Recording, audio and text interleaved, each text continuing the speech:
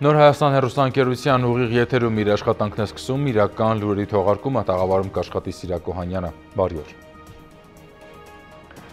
Միացյալ Նահանգների պետքարտուղար Շենթոնի Բլինքենը շնորհավորական ուղերձ է հղել Արարատ Միրզոյանին Հայաստանի Հանրապետության արտաքին գործերի նախարարի պաշտոնում նշանակվելու կապակցությամբ, որում մասնավորապես նշել է.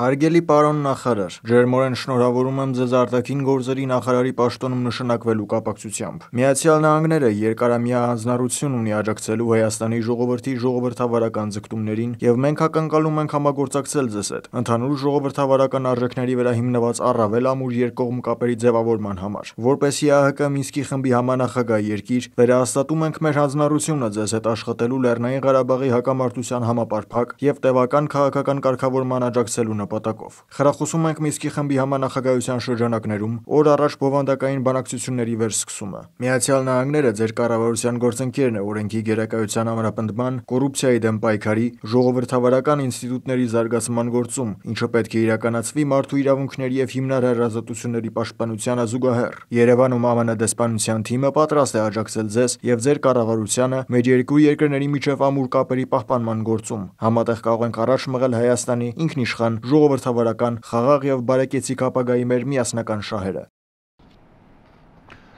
1991 թվականի սեպտեմբերի 2-ին Արցախի ժողովուրդը միաձայն քվեարկեց Ադրբեջանի ագրեսիայի դեմ եւ հանուն իր սեփական ճակատագիրը որոշելու ազատության պայքարի։ Միացյալ Նահանգների հանրապետական կոնգրեսական Դեյվիդ Վալադաուն Արցախի ժողովրդին շնորհավորել է անկախության տոնի կապակցությամբ, ուղերձում մասնավորապես ասված է մեջբերում եմ. Կանգնած եմ Արցախի ու Հայաստանի ժողովրդի կողքին դատապարտելով ադրբեջանական ագրեսիան, կշարունակեմ կոնգրեսականների հետ գործակցությունը հայ ռազմագ գերիներին ազատ արձակելու գործընթացն ապահովելու ուղղությամբ։ Մեջբերման ավարտ։ Միանալով Արցախի անկախության 30-ամյակի առիթով հնչած ուղերձներին Միացյալ Նահանգների կոնգրեսի հայկական հարցերով հանձնախմբի համանախագահ Ֆրենկ Ֆալոնը հայտնել է, որ երբեք առավել դիմացկուն ժողովուրդ չի տեսել, քան Արցախի ժողովուրդն է, որը արարեցվել է իր հարևան երկրի կողմից ագրեսիայի ու բազմաթիվ խնդիրների։ Ֆրենկ Ֆալոնը հայտարարել է, որ ցանկանում է տեսնել Արցախի հանրապետության պաշտոնական միաձայն ճանաչումն ու խաղաղության հաստատումը։ Միացյալ Նահանգների հայամետ կոնգրեսական Ադամ Շիֆը միացել է Արցախի հանրապետության անկախության օրվա արդիվ ուղերձներին։ Նա նշել է, որ շարունակելու է պայքարել հանուն Արցախի հանրապետության միջազգային ճանաչման։ Արցախի խիզախ ժողովուրդը 30 տարի առաջ հրճակեց իր անկախությունը խորհրդային միությունից։ Ես միշտ կանգնած եմ լինելու Արցախի եւ հայ ժողովրդի կողքին պայքարելով Արցախի ինքնորոշման եւ անվտանգության համար։ Սպասում եմ այն օրվան, երբ Արցախը վերջապես կվայելի միջազգային ճանաչում, որից այսքան երկար զրկված է եղել, եզրափակել է կոնգրեսականը։ Արցախի ազգային ժողովում կայացել է հատուկ նիստ նվիրված Լեռնային Ղարաբաղի Հանրապետության հրճակման հոբելյանական 30-ամյակին։ Հատուկ նիստին Հայաստանի խորհրդարանական պատվիրակությունը մասնակցել է ընդլայնված կազմով։ Ընդգրկված էին падգամավորներ 3 խմբակցություններից։ Պատվիրակությունը գլխավորում էր ազգային ժողովի փոխնախագահ Ռուբեն Ռուբինյանը։ 1991-ի սեպտեմբերի 2-ին հրճակվեց Լեռնային Ղարաբաղի Հանրապետության անկախությունը։ Անկախության հրճակումից կարճ ժամանակ անց արդեն Լեռնային Ղարաբաղի Հանրապետությունն ուներ պետական խորհրդանիշներ՝ օրհներկ, դրոշ, զինանշան։ Անցնող 30 տարիները լի են եղել փորձություններով, սակայն Արցախի ժողովրդի ինքնորոշման ազատ եւ արժանապատիվ ապրելու իրավունքի իրացման օրակարգը մնացել է անփոփոխ։ Շնորհավորում եմ բոլորիս Արցախի անկախության հրճակման 30-ամյակի կապակցությամբ այս տարի անկախության տոնին Արցախի հասել ենք բազմաթիվ փորձություններից, կորուստներից հետո, բայց ես կարծում եմ, որ այս բոլոր ցավալի հանգամանքները չի պիտի ոչ մի կերպ ստվերեն Արցախի անկախության օրվա խորհուրդը, որովհետև ի վերջո մեր բոլոր զրկանքները հենց դրա համար են եղել Արցախի հանրապետության օրվա կապակցությամբ Ստեփանակերտ այցելեց Հայաստանի ազգային ժողովի ընդլայնված կազմով պատվիրակությունը ազգային ժողովի փոխնախագահ Ռուբեն Ռուբինյանի գլխավորությամբ։ Խորհրդանշական միջոցառումների շարքը սկսվեց հատուկ նիստով։ Հայտարարում եմ բացված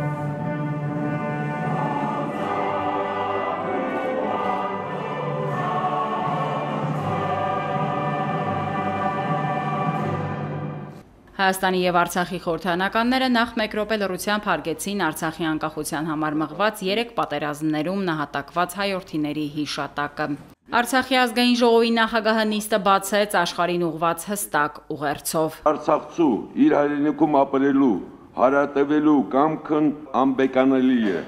Լուսավոր ապագայի կերտումը անկասելի։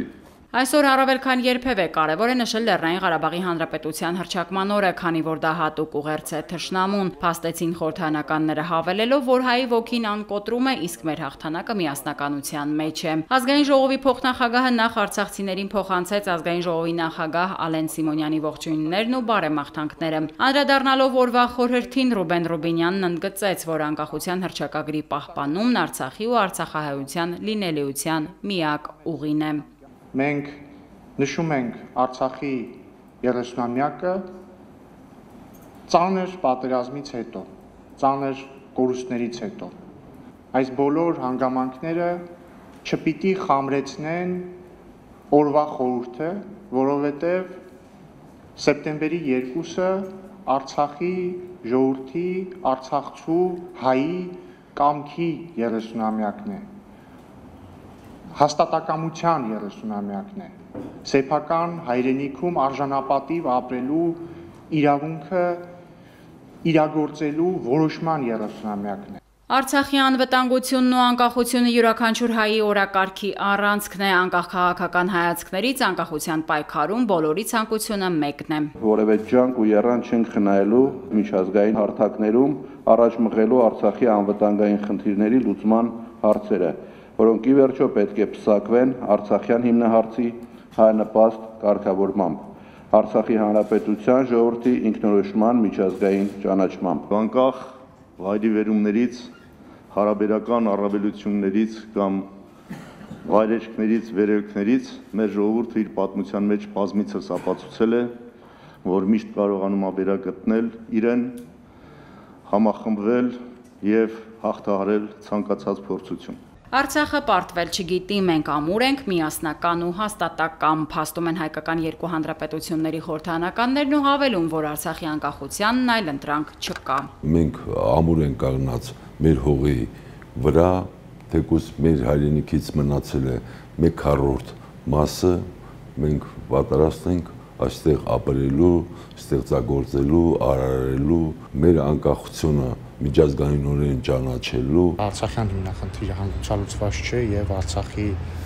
կարգավիճակի հստակեցման հարցը մնում է բաց եւ Հայաստանը միշտ հայտարարել է, որ խնդրի լուծումը տեսնում է Յակոմինսկի խմբի համանախագահության շրջանակներում բանակցությունների միջոցով հայտնի սկզբունքների եւ տարերի հիման վրա։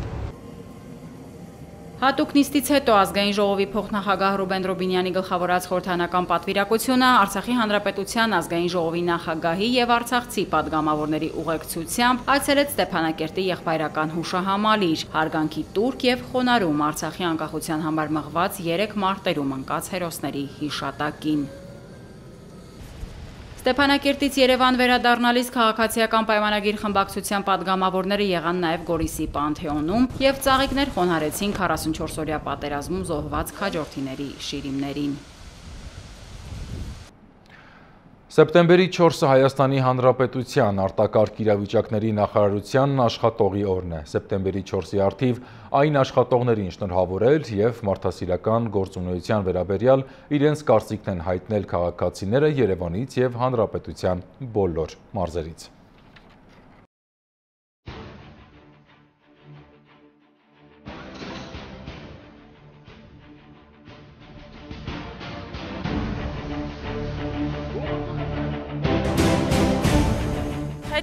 ամենօրյա լրատվությանը տեսնելով թե ինչպես են արագ արձագանքում թե հերդերներին, թե սողանքներին, չգիտեմ։ Այդ ամեն ինչը հստակ նկատելով ու տեսնելով կարող եմ ասել, որ իհարկե դրական է ամեն ինչ։ Շատ արագ արձագանքեն կանչերին, բացի այդ որակը ավոր բարձրացել է վերջին տարիների համեմատ։ Նոր կայան է բացվել, ավելի արագ արձագանքելու համար, բայց ընդհանրապես ինչ որ լսում լավն եմ լսել։ Ունեցա խնդիր տանիքի հետ կապված եւ մեկ անգամ զանգելուց հետո պատկերացեք եկան եւ թիթեղների հարցը կարգավորվեց այդ դեպքի հետ կապված ես շնորհակալ եմ տեսնում որ շատ արագ կերտան ինչ որ պետք է մարդկանց կողնեն լավ կարծիք ունեն քաղաքացիները, որտեղ արագ արձագանքում են։ Ակտիվ կոորդինացիա են ծավալում եւ լավ կտուրներ բաժարնգել, զանգել ենք, իրանք շատ արագ են եկել են հանգցրել են։ Են շատ շնորհակալ եմ իրանցից։ Ես կարծում եմ բոլոր աշտարակցիներն Արագածոտնի մարզի ժողովուրդն էլ գոհ են իրանցից։ Մեր մարզում այնի աշխատակիցները աշխատում են շատ գերազանց, արձագանքում են շատ արագ, այնպես որ շատ գոհ ենք։ Հրդեհեր, հա, շատ վտանգավոր, շատ շուտվա դեպքեր, մարդիկ եկան օպերատիվ ձևով կատարեցին իրանց գործողությունը գնացին։ Շատ գոհ եմ, գոհ եմ, շնորհակալ եմ։ Թող հայրենիքին ծառայեն, ամփորձան կլնեն։ Պատահելա տեսել ենք դեպքեր վթարների ժամանակ ինչ օպերատիվ են աշխատում, շատ գոհ եմ, շնորհակալ ենք։ Նու միշտ թող սենց աշխատեն հարգանքներս իրենց։ Փրկարարներին բոլորին ներ սիրում ու հարգում եմ։ Բոլորը մեկը մեկից լավ տղաներ են։ Մշտական ինչպես ասում են, կյանք փրկողներ են կարելի ասել, մարդկանց են փրկում։ Թող քիչ լինեն այդ վթարները, արտակարգ իրավիճակները, որ հանգիստ անցնի իրենց աշխատանքային օրը։ Միշտ արձագանքում են մեր եւ արտակարգ իրավիճակների ժամանակ եւ ընդհանրապես ուսումնական եթե process է պետք մանկապարտեզներում նույնպես արձագանքում են։ Այնը ինչպես միշտ իր ծառայությունը կատարում է շատ լավ, մեր տղաներին այս պարտականությունները գիտեն լավ։ Նրանց աշխատանքը անփոխարինելի է, հատկապես ականատեսը մենք եղանք պատերազմի օրերին 44 օրյա։ Այնի աշխատանքը միշտ եղել է կարևոր եւ կարծում եմ, որ իրենց աշխատա կազմակերպված աշխատանքի արդյունքում մեր մարզում որևէ արտարոց խնդիր չի եղել։ Շնորհավորում եմ այդ օրվա կապակցությամբ, առողջություն եմ ցանկանում թող դրանք միշտ փորձանքից հեռու լինեն։ Մարդիկ, որոնք միշտ մեր կողքին են, նույնիսկ խաղաղ պայմաններում ապահովում են մեր անվտանգությունը։ Խորին շնորհակալություն։ Ես ուզում եմ նշել նաև, որ բոլոր իրավիճակներում արտակարգ իրավիճակների նախարարության բոլոր ծառայությունները իրենց բարձունքի վրա են։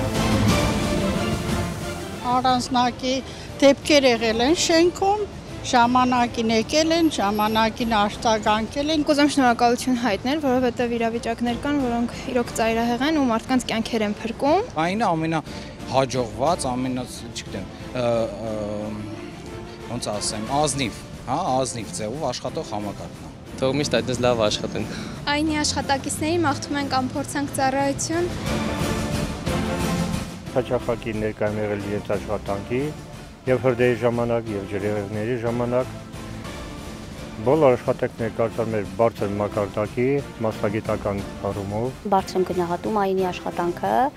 շատ օպերատիվ արձագանքում են։ Անհրաժեշտության դեպքում նրանք անմիջապես օժանդակում են, հասնում են, օգնում են բնակիչներին։ Շատ օպերատիվ իրազեկում են բոլոր անվտանգության կանոնների մասին տարբեր իրավիճակների հետ կապված Մարդկանց հետ շատ ջերմ են վերաբերվում։ Արձագանքում են ժամանակին, օգնում են անմնացող։ Կանչել ենք այն եկելա բարեխիղճ մեզ օգնելա։ Մենք շատ շնորհակալ ենք ձեր ծառայությունից։ Ամենակարևոր կառույցներից մեկն է կոնկրետ մեր մարզում, մեր քաղաքում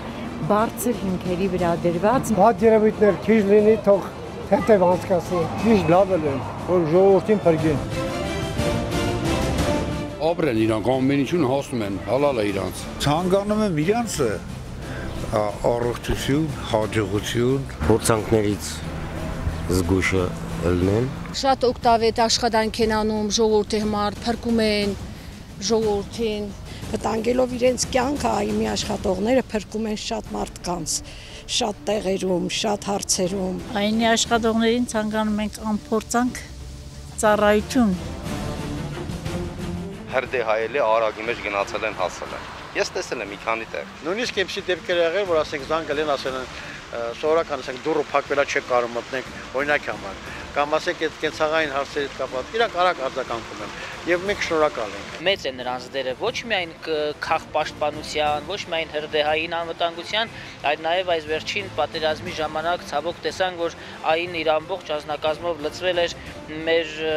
տղաների դիերը պատերազմի գոտուց դուրս բերելու, հայտնաբերելու գործին, սա սա մեծ գործ է, որ մեր բոլորիս համար պետք է հարգանքի հարգանքի արժանանա։ Առնչվել եմ եւ մեծ կարելի ասած տպավորություն եմ ունեցել իրենց մարդկային հատկանիշներով, իրենց պրոֆեսիոնալ պատրաստվածության աստիճանով։ Այնպես որ գոհ եմ ամբողջ օրը լարված վիճակում են աշխատում, գիտեք ինչքան վթարներ ալին, ինչ օգնություններ են ցույց տալիս ժողովրդին, կարևորը դա է ամեն ինչով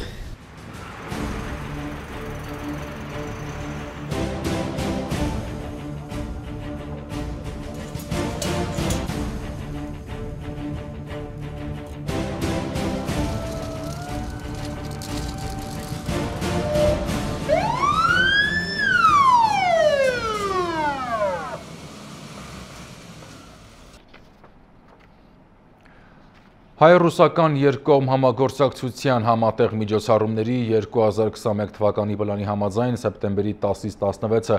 Ռուսաստանի Դաշնության և Բելարուսի Հանրապետության տարածքներում անցկացվելիք Զապատ 2021 համատեղ ռազմավարական զորավարժությանն ու նախապատրաստական փուլին մասնակցելու նպատակով սեպտեմբերի 4-ին Հայաստանի Հանրապետության զինված ուժերի ստորաբաժանումը կմեկնի Ռուսաստանի Դաշնության Նիժնի Նովգրադի մարզ Մուլինո զորավարզադաշտ, ասված է Պաշտպանության նախարարության հայտարարության մեջ։ Հոգեբաները շարունակում են հանդիպել պատերազմի դժվարությունները սեփական մաշկի վերազգացած մարդկանց հետ լսել նրանց խնդիրները։ Պետական աջակցության ծրագրով արդեն ավելի քան 4300 հոգեբանական սեանս է անցկացվել։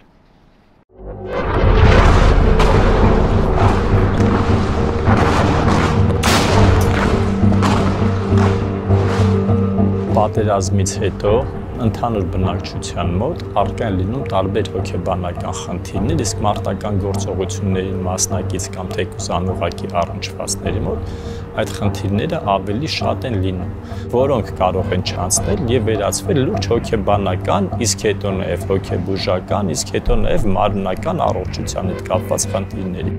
Այդ պատճառով չափազանց կարեւոր է հոգեբանական աշխատանքը եւ մարտական գործողությունների մասնակիցների եւ զոհվածների հարազատների եւ ընդհանուր բնակչության հետ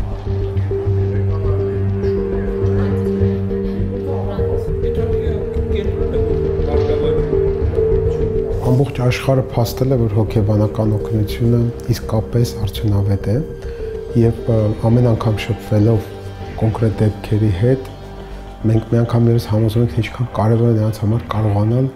ճիշտ արտահայտվել փաստված է մեր մասնագիտական գրականության մեջ որ եթե տրավմաների հետ ժամանակին մենք չենք աշխատում այդ պարագայում տրավման կարող է ավելի դեստրուկտիվ կարգավիճակ ստանալ. Ալկոհոլիզմ ագրեսիա հանցագործություն դրանք բոլորը հետևանքներ են չլուծված չբուժված տրավմատիկ ապրումների եւ տրավմատիկ երևույթների Այսօր մենք Հայաստանում ունենք որոշակի իրավիճակներ, որոնք պայմանավորված են. Կոവിഡ്ով, որից հետո պատերազմով, պատերազմի ոչ ցանկալի ավարտով եւ հետո դրա շահարկումներով։ Այս բոլորը իրար հետ ստեղծում են որոշակի լուրջ ծանր հոգեբանական ֆոն, հետևաբար ճիշտ տեղին էր կառավարության որոշումը, որ որոշեց ֆինանսավորել հոգեբանական աջակցությունը, ընդ որում առաջի անգամ Հայաստանի Հանրապետության պատմության ընթացքում։ Եվ այսօր արդեն մենք տեսնում ենք նաև դրա արդյունքները։ Այս ծրագրի շրջանակներում, երբ որ մենք աշխատում ենք այդ մարդկանց հետ, մենք կանխարգելում ենք հետագա բարդացումները, որոնք կարող են հանգեցնել հոգեկան ավելի դժվար պաթոլոգիաների կարող ենք ասել, որ այս ծրագրի արդյունքում մարդիկ սկսում են էլ չամաչել դիմել հոգեբաններին, չամաչել դիմել հոգեբուժներին, հոգեկան առողջության բոլոր մասնագետներին, որովհետև հասկանում են, որ լավ է խնդիրը լուծել շուտ, քան թե թողել բարթանա եւ հետո արդեն ավելի դժվարությամբ լուծել։ Ինչու համար, եթե կարելի է մի քանի հանդիպումների ընթացքում ազատվել ինչ որ ծանր բեռից, այդ բեռը հետներս քաշ տանք տանենք հասցնենք մինչև չգիտես որտեղ հոգեբանին դիմում են առողջ մարդիկ, որպիսի իրենց խնդիրները արագ կարգավորեն, որպիսի չունենան հետագայում այլ զարգացումներ մարմնական կամ հոգեբանական մենք ապահովում ենք ծառայությունը եւ մեր գրասենյակներով եւ ըստ անհրաժեշտության պացիենտների տանը, մեր մասնակիցների շահառուների տանը կարող են իրականացվել նաեւ on-line խորհրդատվություններ, այսինքն բոլոր հնարավորությունները ընձեռված են, որպեսզի մարդը ով ցանկանում է բարելավել իր հոգեկան առողջությունը, զերծ մնալ ստրեսների, ապրել ավելի հանգիստ, ունենա այդ հնարավորությունը եւ կարողանա օգտագործել Ոչ միայն մասնակից, այլև հյուրընկալող երկիր 4-րդ տարին անընդմեջ մեջ հանդիսավորությամբ մեկնարկել են նաև բանակային օլիմպիական խաղերի հայաստանյան մրցումները։ Խաղաղության մարտիկ 2021 Հայաստանը։ Հյուրընկալող կողմն ամփոփող է անցկացման վայրը նույնպես Դիլիջանյան բարձունքում մեկ հարկի ներքո 4-րդ տարին անընդմեջ խաղաղության մարտիկ միջազգային մրցույթի մասնակիցներն են հյուրընկալվել։ Հավաքական թիմերը 6 երկրների զինված ուժերից են՝ Հայաստան, Ռուսաստան, Բելարուս, Ղազախստան, Հունաստան եւ Քաթար։ Վերջինս մրցույթին մասնակցում է դիտորդի կարգավիճակով։ Ումերեն Վստահ եմ, որ մրցելիս թիմերը կցուցադրեն արեստավարժություն, մարտական եւ մարտավարամասնագիտական պատրաստության բարձր աստիճան։ Մրցույթի մասնակիցները լավագույններն են։ Նրանք նախնական ընտրության դժվարին ճանապարհ են անցել, ազնիվ պայքարում վաստակելով իրենց երկրների զինված ուժերը ներկայացնելու պատիվը։ Խաղաղության մարտիկ մրցույթը կլինի մարտական եղբայրության եւ խիզախության իսկական տոն եւ կնպաստի միջազգային ռազմական համագործակցության ամրապնդմանը։ Մրցաշարի բացման արարողությանը ներկա բարձրաստիճան հյուրերի եւ զինվորականների համոզմունքը մեկն է՝ խաղաղության մարտիկների միջև առողջ ու ակտիվ մրցապայքար է ծավալվելու, հաղթելու է լավագույնը ուժեղագույնների շարքում։ Բարեմաղթանքներին ցուցադրական ելույթներն են հաջորդում՝ երկ, պար, ազգային մշակութային ելևէջներով։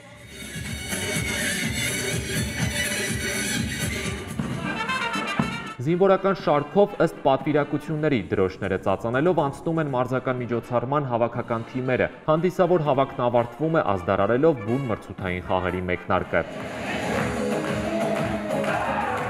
Առաջին փուլ՝ Տեր եւ Տիկին գրական գեղարվեստական մրցաձև։ Հավաքական թիմերի ներկայացուցիչները հանդես են գալիս ազգային տարազներով, երաժշտական, պարային եւ ասմունքի կատարումներով։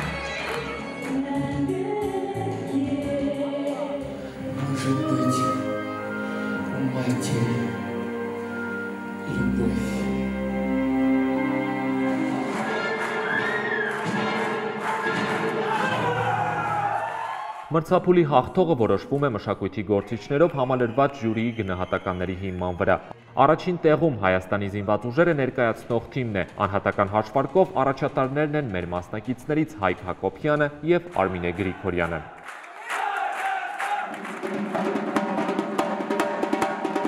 Գրական գեղարվեստական մրցափուլի շարունակությունն ազգային տաղավարների բացազատումն է։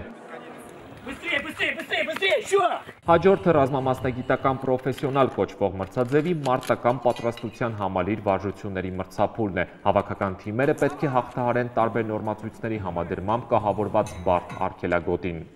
Всегда Республика Армения отличалась. э, Ինչպես միշտ Հայաստանը պատասխանատու կերպով է մոտեցել մրցույթի կազմակերպական հարցերին։ Ամեն ինչ ընթանում է բարձր մակարդակով, որևէ խնդիր չի առաջանում։ Ինչ վերաբերում է խաղերի ընթացքին, ապա մրցափուլերը տարես տարի դժվարանում եւ ավելի հետաքրքիր են դառնում։ Օրինակ, եթե նախորդ տարիներին կոնկրետ այս մրցափուլում թիմերը եզրագիծը հատում էին ավելի կարճ ժամանակում, ապա հիմա պատկերը այլ է, քանի որ ընդլայնվել են առաջադրվող խնդիրների ծավալն ու բարդությունը։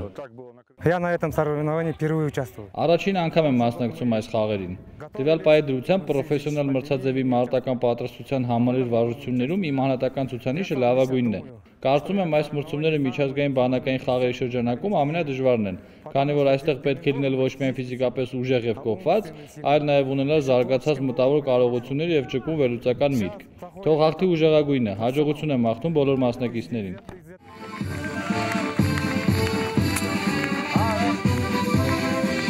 Պրոֆեսիոնալ մրցաձևը շարունակվում է, այս անգամ ստուգվում են հավաքական թիմերի բուժօգնություն կազմակերպելու ունակությունները։ Մասնակիցները պետք է պայմանական վիրավորներին արագ տարհանեն մարտադաշտից, ցուցաբերելով առաջին բուժօգնություն վիրավորի վրա ձերքի աջ ձերքին դրվում է լարանը, այնուհետև տեղաշարժվում է 5 մետր, այնուհետև տեղադրվում է վիրակապը վերքի վրա եւ վրան թիկնոցի միջոցով տեղափոխվում է վիրավորը դեպի ֆինիշ, որտեղ որ ժամանակը արդեն ֆիքսվում է։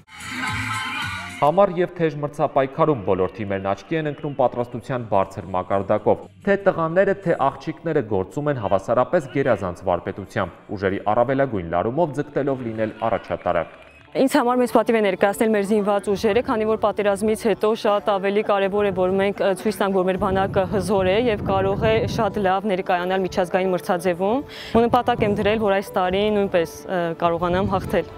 ինչպես նախորդ տարիներին։ Իրենց արժև դրված պատասխանատվությունը քաջ գիտակցում են առավել քան երբևէ, շեշտում են հայ մասնակիցները։ Հետ պատերազմյան ժամանակահատվածում հայկական զինված ուժերի շրջանակում սա միջազգային առաջին հեղինակավոր մրցույթն է, որի ներգրաված է Հայաստանը որպես մասնակից ու հյուրընկալող երկիր։ Ոստի պետք է անել առավելագույնը, պատվով ու հաղթական կամքով ներկայանալու համար։ Պատիվ ունեմ 4-րդ անգամ անընդմեջ ներկայացնել զինված ուժերի դրոշը միջազգային բանակային խաղերում։ Այս տարի մեզ համար ուրիշ մոտեցումով ենք մոտեցել այս մրցումներին, ավելի պարտավորեցնող, ավելի ուշադիր, ավելի հավաքված։ Մեր ոգին տրամադրությունը շատ բարձր է, մենք պատրաստ ենք անել ամեն ինչ մեր զինված ուժերի, մեր հանրապետության դրոշը բարձր պայել։ Մինչ արդյունքների համադրումից հետո հայտնի կդառնա պրոֆեսիոնալ մրցաձևի ընդհանուր հաղթողը, արժևում եւս մեկ մրցափուլ է կողմնորոշում տեղանքում Դարոգու Можно Մրցափուլի պահանջը հետևյալն է՝ բացառապես քարտեզի եւ կողմնացույցի օգնությամբ մասնակիցները պետք է հաղթահարեն բարդ լեռնային տեղանքում կահավորված արգելագոտին։ Գլխավորն այստեղ տեղանքում արագ կողմնորոշվելն ու արգելագոտու ստուգողական կետերում նշումներ կատարելն է։ Զինծառայողների գործողություններին մրցավարական հանձնաժողովն է հետևում, գնահատում յուրաքանչյուրի հմտությունները եւ ամփոփում արդյունքները։ Сегодня Был вообще сложный день։ Այսօր շատ դժվար օր էր։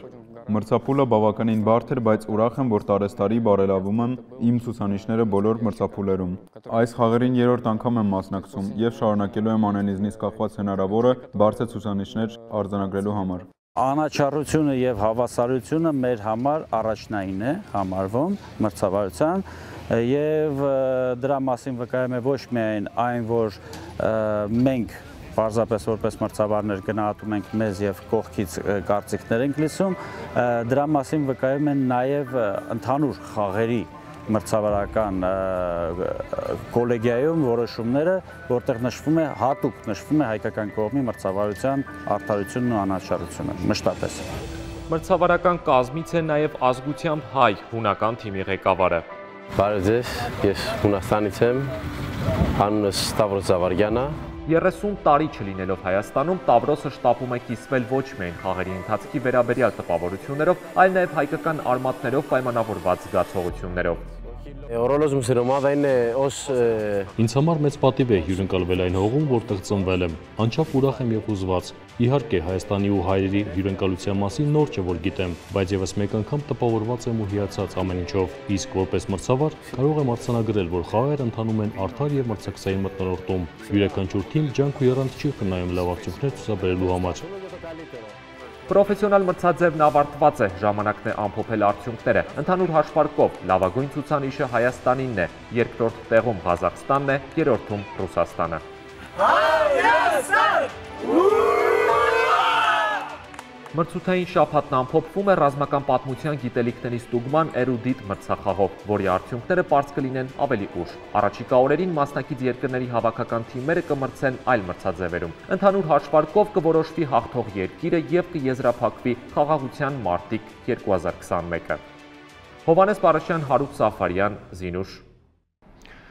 Ինչպես են մեր համերկրացիներն անցկացնում իրենց հանգստյան օրերը, որքանով են համընկնում հանգիստը կազմակերպելու ցանկությունն ու քաղաքացիների հնարավորությունները, ինչ նախընտրություն ունեն եւ որն է ամենապահանջված հանգստյան վայրը Հայաստանում։ Իմ գործընկերները անցկացրել են թեմատիկ հարցում մանրամասները առաջարկվող տեսանյութում։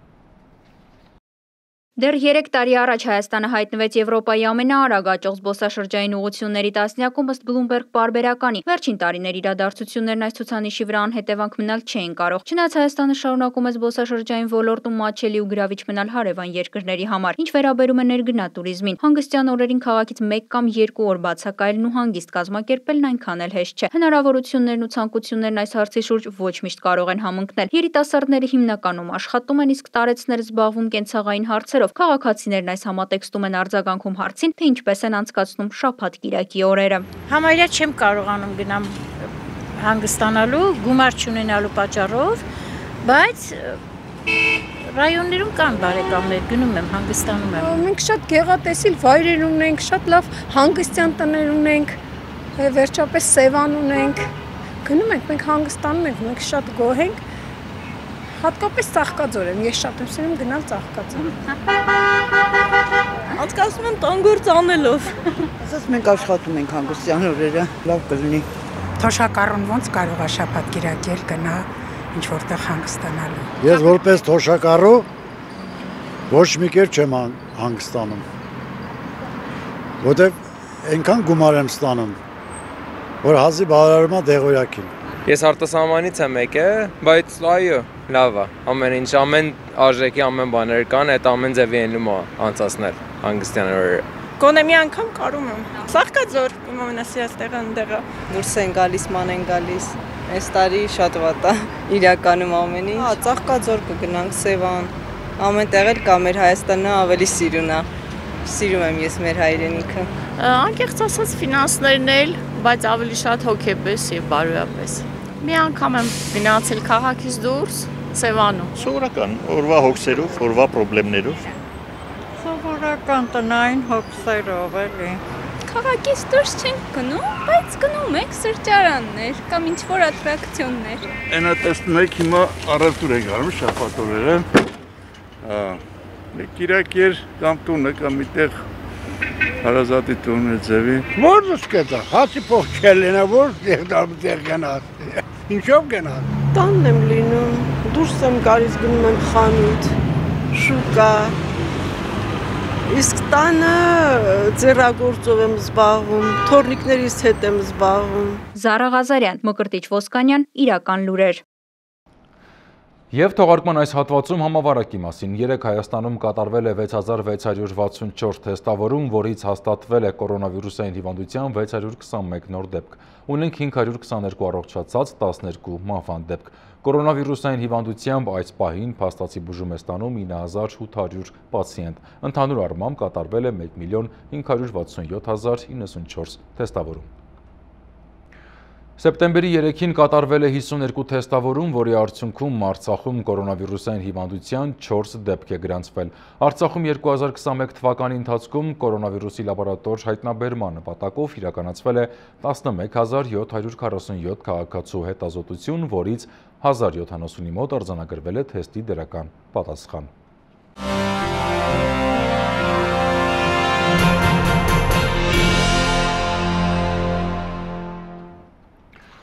Մենք վերադարձանք և շարունակում ենք թողարկումը, իսկ այժմ միջազգային անցուդարձից։ Պենտագոնը հերքել է Սիրիայի երեք հենակետերից ամերիկյան զինուժի դուրսբերման մասին ավելի վաղ իրանական ԶԼՄ-ներում հայտնված տեղեկությունները։ Նման հայտարարությունների հիմք է հանդիսացել օգոստոսի 31-ին Միացյալ Նահանգների նախագահ Ջո Բայդենի ժողովրդին հղած ուղերձը, որում ասվում է, որ Աղվանստանից ամերիկյան զորքերի դուրսբերումը ավարտում է այլ երկրները վերակառուցելու փորձերի դարաշրջանը։ Աղվանստանի վերաբերյալ որոշումը միայն Աղվանստանի մասին չէ, այն վերաբերում է նաև մյուս երկրների վերակառուցման ուղղված խոշոր ռազմական գործողությունների դարաշրջանի ավարտին, ասել էր Բայդենը։ Թալիբան արմատական շարժման զինյալները Քաբուլում կրակ են բացել դեպի օդ, որի հետևանքով մահացել է 17 մարդ, եւս 41-ը վիրավորվել են։ Ավելի վաղ հայտնել էր 4 զոհի եւ 7 վիրավորի մասին։ Թալիբան շարժման ներկայացուցիչը հայտնել է, որ զինյալները կրակահերթերով ցանկացել են նշել Փանշեր նահանգն իրենց վերահսկողության տակ վերցնելու հաղթանակը։ Շարժման ղեկավարությունը համակիներին կոչ է արել դադարեցնել կրակահերթերը։